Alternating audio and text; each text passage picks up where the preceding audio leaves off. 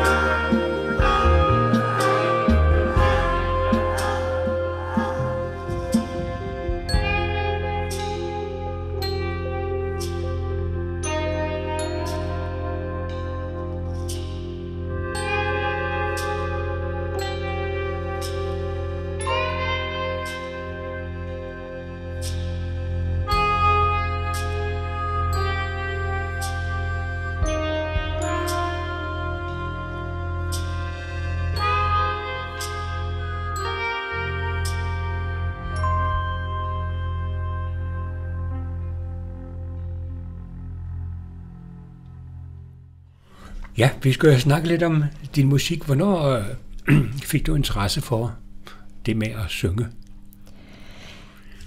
Det har ligesom været rundt om mig hele mit liv. Øh, min mor var en meget sådan engageret musiklærer, og jeg startede musikskole også, og min far sp- spillede meget i weekenderne, da jeg var lille. Så det var ligesom i mit hus og i min stue. Ja. Og så ved jeg nu, om du var med den far ude på værtshuset, når han skulle spille der. Ja, ja, det var jeg. Og det var, det, var, det, var, synes, det var en stor oplevelse, det der med at, at være med ude og spille, og fik, så blev jeg nogle gange så lagt til at sove om eftermiddagen, fordi jeg jo ikke nødvendigvis var så gammel, men så fik jeg lov at være op om aftenen. Ja.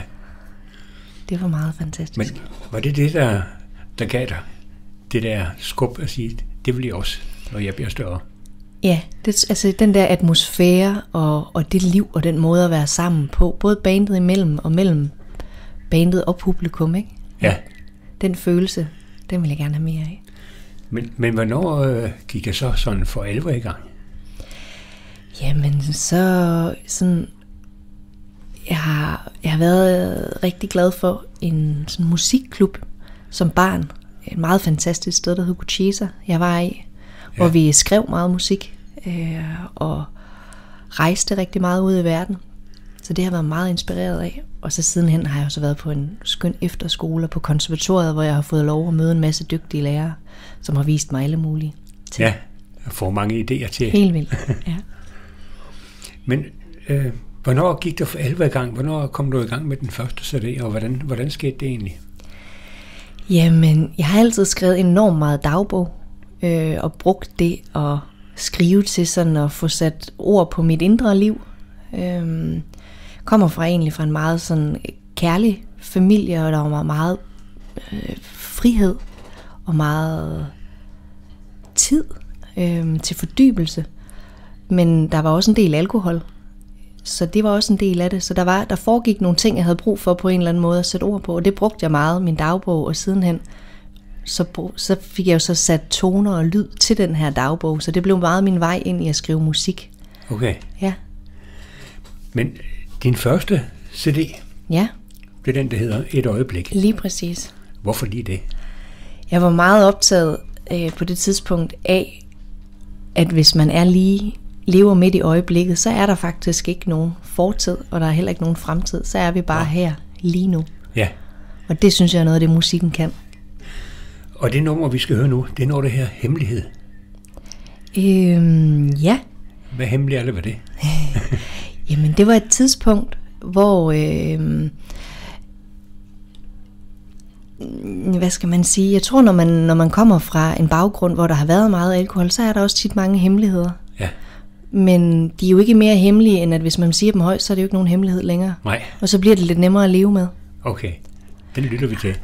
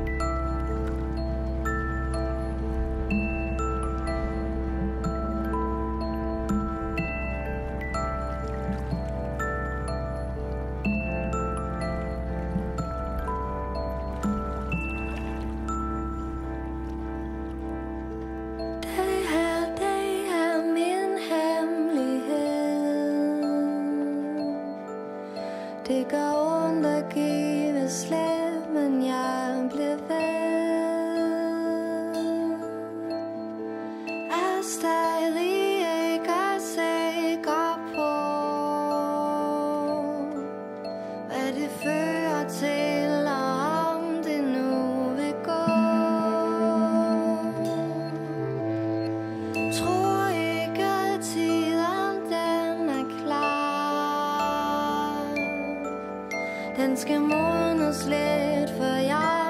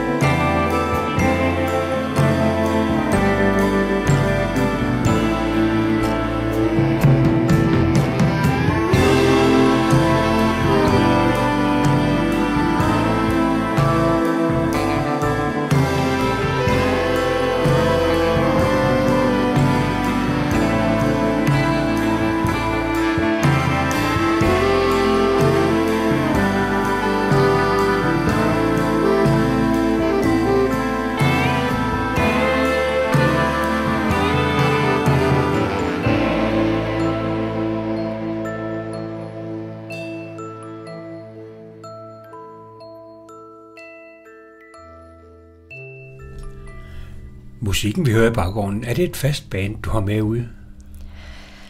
Det har det i hvert fald været. Øhm, på de sidste to, eller de to album, jeg har lavet, der har det været et fast band. Ja, Jeg kunne godt finde på på det næste album og gøre nogle ting lidt anderledes. Men øh, Nå. det er sådan stadig lige en proces med, hvordan og hvorledes det er skal stadig en hemmelighed. Ja, lidt. Hvem, hvem, øh, hvem består dit band af? Jamen, det er min kæreste, Anders Rosenstjerne, som er trommeslager, og som også er rigtig meget... Jeg skriver sangene, og så kommer han med en masse feedback og og meget med til at arrangere dem. Og så har jeg haft øh, en guitarist med, som hedder Emil Falk, øh, og en jazzpianist, som hedder Lars Fiel, og en bassist, som hedder Martin Pedersen. Ja, Og så øh, har jeg haft Dennis Algren, øh, som også er spiller med Tina Dikov og har produceret for hende hendes første plader. Ham har jeg samarbejdet med omkring begge plader, hvor han også har haft rigtig meget indflydelse på at være med til at forme lyden. ja. Okay. Ja. Så fik vi det slået fast. Øh, det næste stykke musik, hvad er det, du har valgt der? Jamen det er en sang, som hedder Sidste Gang. Ja, Ja. og, hvad- og hvad handler det om? Jamen, øh, den handler om at, at indse, at, øh, at nu gør man noget for sidste gang, øh, fordi nu skal, nu skal det fremad være på en anden måde.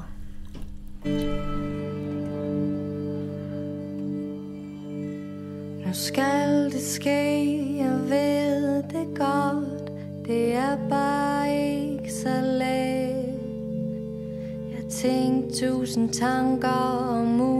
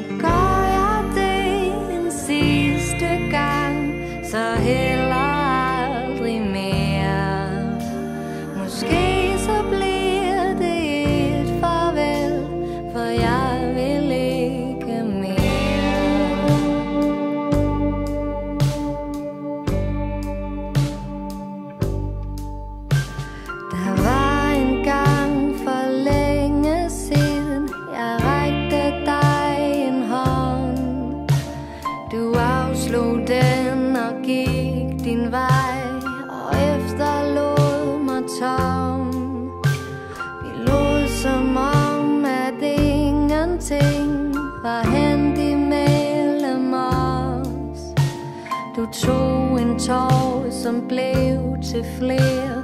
Nu er der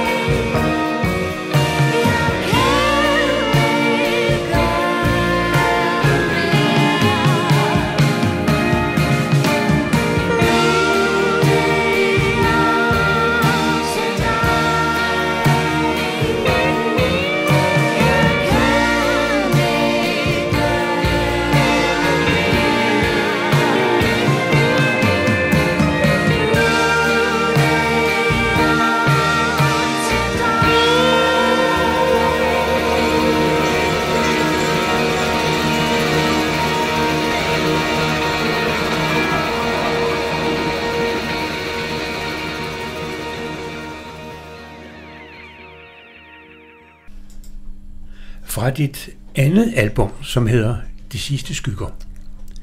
Hvordan er det album kommet i stand? Ja, det, oplever det som øh, en, en, en forlængelse af den, af den første, som øh, jeg synes, jeg gjorde mig en masse erfaringer og opdagelser ved at kaste mig ud i at lave mit debutalbum. Ja. Og der var jo sådan en masse processer i, hvad for nogle sange er egentlig dem, der lever længst, og hvorfor. Og så dykkede meget ned sådan i at dygtiggøre mig inde i sangskrivningen, og også i indspillingsprocessen. Øhm, ja, Men, men øh, meget af det, der foregår i din sang, Ja. det, det er noget, der er foregået i dit liv. det er det bestemt. Ja. Og det synes jeg også var noget af den proces, jeg ligesom fandt frem til, at de sange, som jeg, der får det længste liv, og der, hvor jeg synes, det er sjovest og egentlig også mest meningsfuldt at skrive musik, det er, når det er noget, hvor jeg oprigtigt taget har noget på hjertet. Ja. Jeg har også skrevet sange, hvor jeg har digtet det, men det er ligesom de andre, som betyder mest. Ja. Og det første nummer, vi skal høre, det hedder Intet består. Ja. Og det kan jo både være sådan lidt trist, og det kan også være lidt befriende. Ja. Den prøver vi at lytte til. Mm.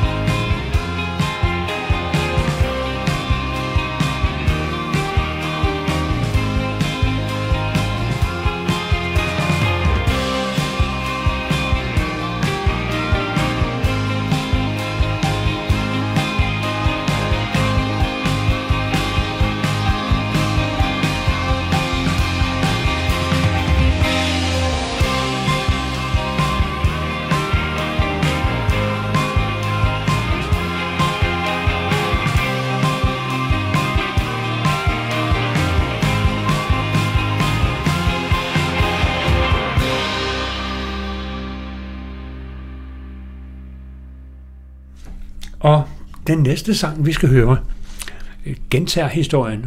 Mm. Og øh, det er også, hvad det er, der er foregået i dit liv der. Den her sang er faktisk, øh, der begyndte jeg at finde ind til sådan en teknik, hvor jeg i stedet for at skrive, så øh, indtalte jeg tekster på min diktafon. Ja. Øh, ideen opstod egentlig bare ved, at min hånd ikke kunne skrive hurtigt nok. Jeg kunne mærke, at mine tanker var hurtigere. Og jeg synes, der var noget interessant i at give slip på det, jeg kalder mig, og så slippe det, der er mere frit inde bagved løs. Fordi det kommer der bare nogle helt andre øh, tekster ud af, når jeg ikke styrer dem. Så ved at indtale ordene, så kunne det ligesom flyde frit. Ja, Ja. det er vi spændt på høre. Mm.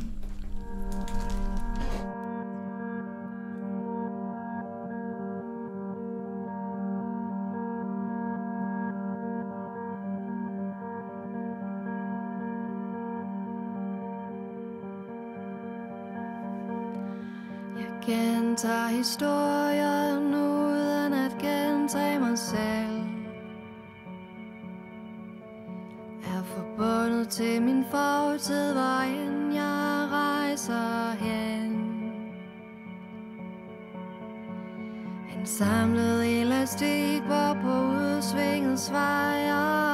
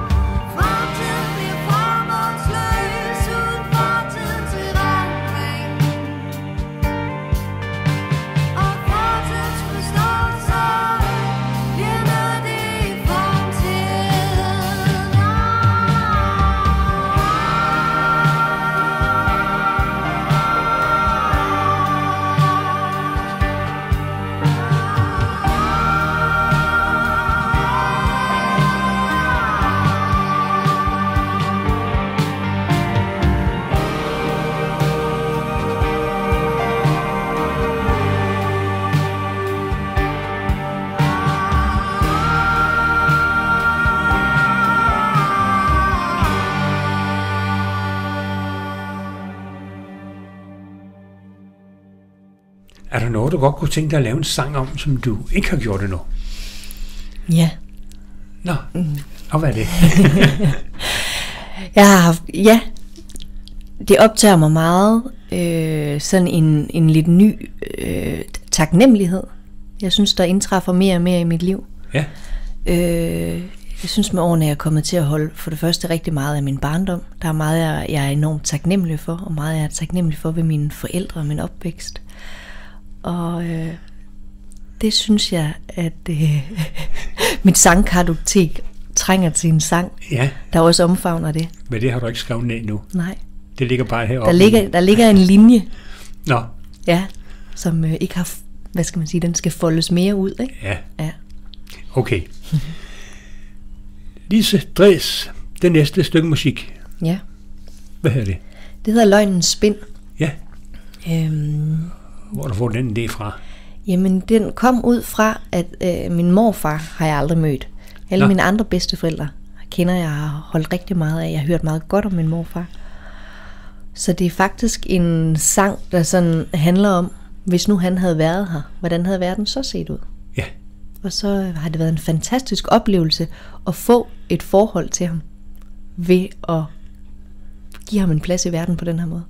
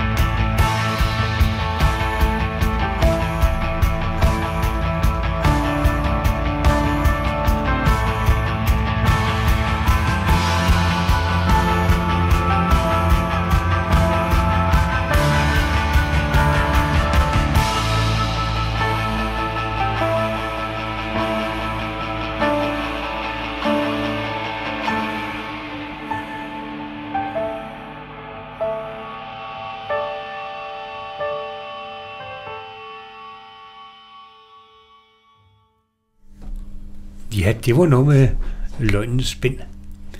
Øh, li- ligger der sange nok hjemme i skrivebordskuffen sådan til CD nummer 3?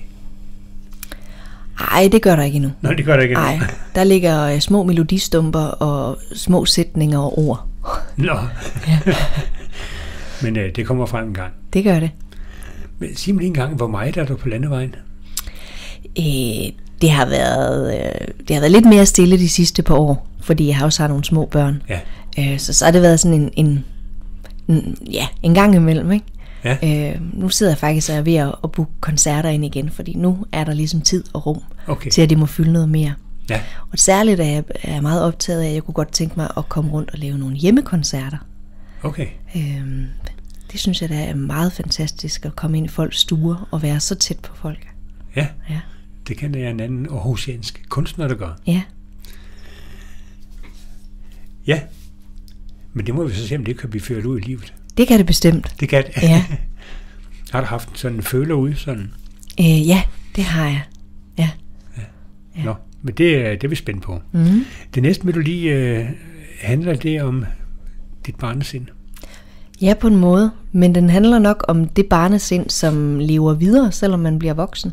Ja, Og så handler den om at se en, en, en frygt i øjnene, og ligesom turde handle på og, og være med den, og se den forandre sig, så den også kan give slip, fordi der var måske en grund til, at den skulle være der engang, men det er ikke sikkert, at den behøver at blive ved med at være der. nej. Nej.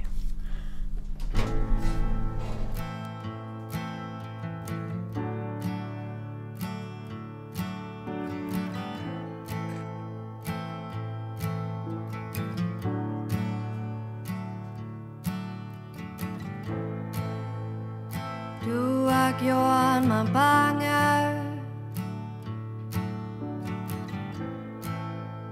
Og ødelagt mit sind.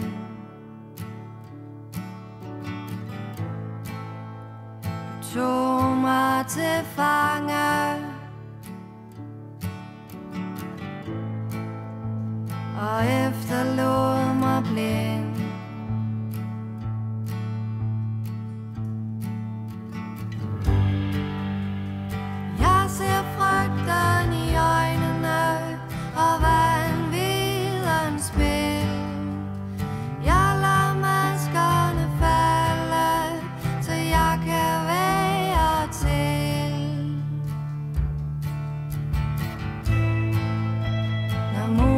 Begynder at falde,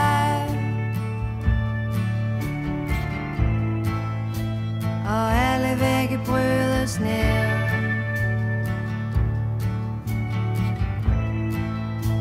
Så hører jeg minderne kalde.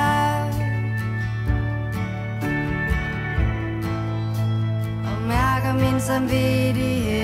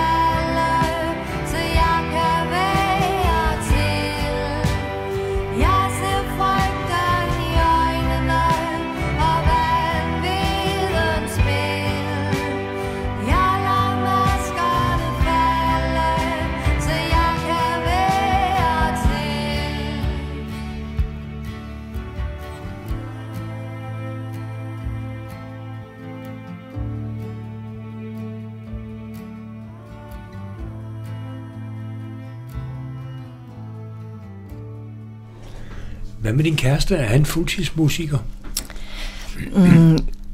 Nej, det er han ikke. Øh, han er selvstændig som øh, håndværker, Okay, og med både og med musik. Så sådan Nå, en, nå. ja, ja, sådan en blanding.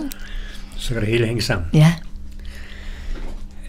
Den næste, vi skal snakke om, det er den, der hedder De sidste skygger, eller hvad var det? ja, Ja, ligesom albumet. ja, ja det var det. Mm. Hvor fik du den fra til den? Der var jeg nede af vinterbad. Nå, Okay. Da jeg boede i Aarhus, der vinterbadede jeg rigtig meget. Øh, og det var lige sådan en, ja, et sus af frihed. Den er indfanget ved. Nå, okay.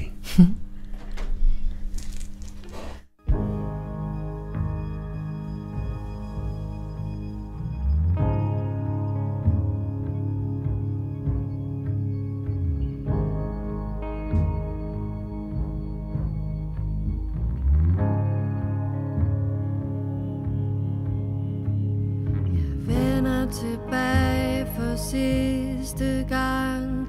De ved det bare ikke. Jeg rejser tilbage for at se mig selv.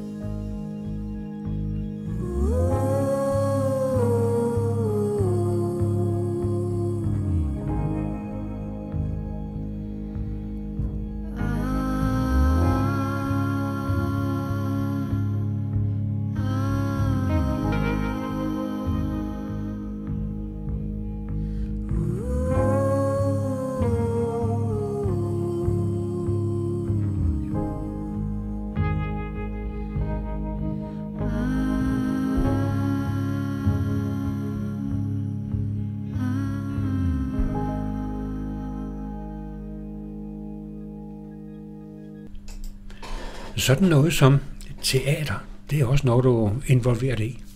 Ja, i hvert fald hvis jeg har min musik med. Ja, Ja. hvordan er det i forhold til at skulle stå på en, en scene og give koncert? Øh, Teater, det må være noget andet. Det er det bestemt også. Øh, for der er jo sådan et meget defineret rum til, at publikum lytter og er stille. Ja, Øh, tit er der også noget med noget, altså det er jo tit i en sort boks, og lyset er jo også tit sådan meget fokuseret sat, så jeg synes, den ramme kan virkelig noget til øh, historiefortællingen i sangene. ja. Og til at meget små lyde og meget små ting øh, får fokus. Okay. Hvad, hvad holder du så mest af? Teater eller det andet? Det er bare to forskellige ting. Nå, Ja, så det kan vi ikke nej, vurdere. nej. Nej, jeg kan okay. rigtig godt lide begge ting.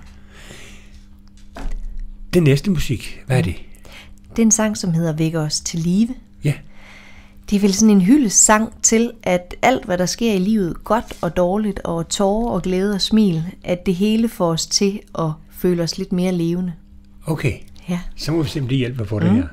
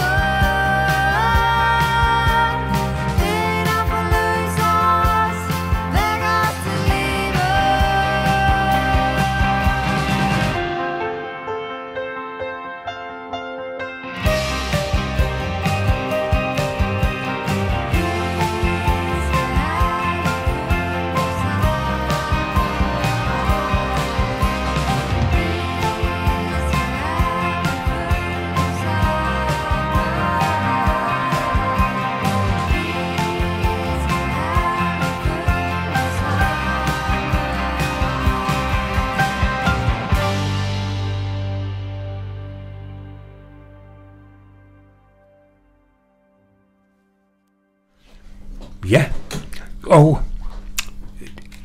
hvor meget, hvor meget tid bruger du på at, at skrive sange og sådan noget?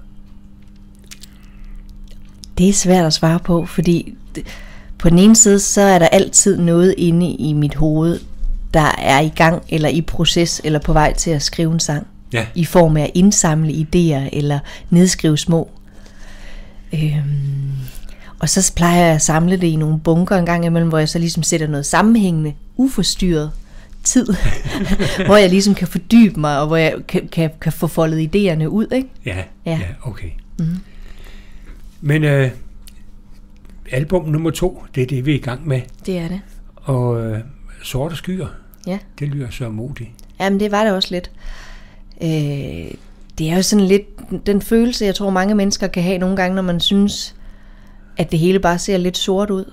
Og så kunne jeg i hvert fald blive meget i sådan i tvivl om, hvor, hvor går jeg hen med det her? Hvad, hvad gør man? Ja. Øhm, øh, jeg kan huske i forbindelse med, at det er jo ikke så længe siden, jeg har udgivet en digtsamling. Der har jeg sådan et lille digt, jeg, jeg skrev, hvor at øh, hvor jeg sådan ligesom beskriver, at når man har det på den her måde, så kan jeg nogle gange have lyst til enten at beruse mig, eller stikke af, eller stoppe livet, ikke? Ja. Altså jeg, hen, jeg en- ender altid med aldrig nogen at gøre nogen af tre ting, ikke? Nej. Men det der med, men hvad er det så, man gør, når man har det sådan, ikke? Ja, Ja. det kan være svært. ja. Sorte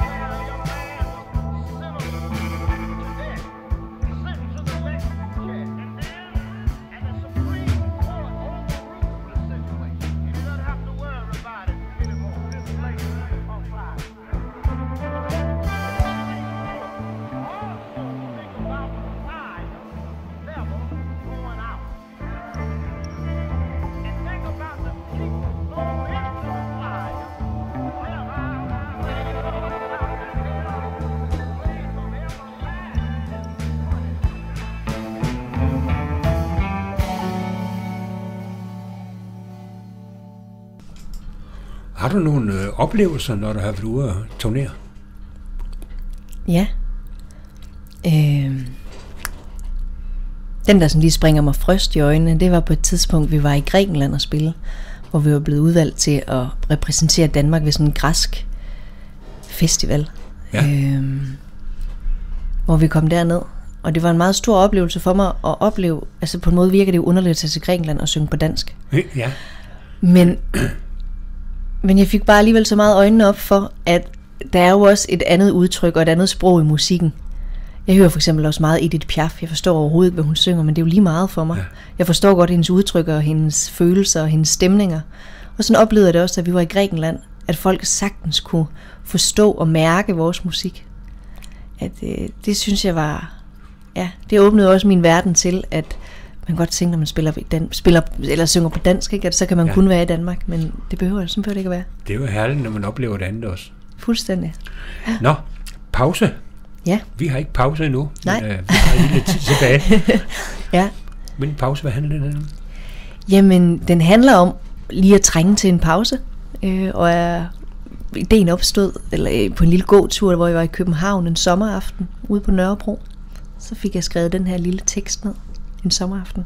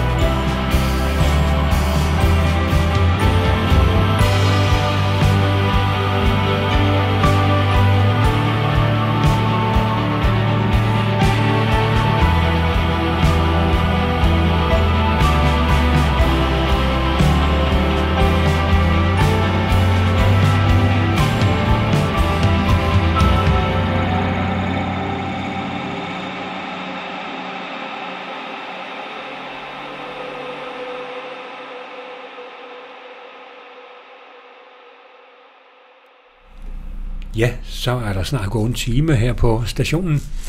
Men øh, Lisa Dres, øh, hvordan har det været at være med sådan i lige en, en times portræt af dig? Det har da været ret fantastisk, og Kommer lidt rundt sådan. det gør man. Og det er jo sjovt sådan ligesom lige at høre sine sange øh, i, i den her sammenhæng. Det er sjældent, man får lov til at fylde en hel time. Ja. Det føler jeg mig meget bedre over. Men, men øh, vi har ikke så lang tid tilbage. Vi har et nummer tilbage fra din CD nummer 2, Ja, der her Kaffe 67. ja. Det var en sjov titel. Det er en restaurant i Aarhus. Okay, Ja, og det er også der, den er indfanget på en lille serviet. En Nå, aften, nå. jeg var ude at spise med min mand, eller kæreste. ja. Ja.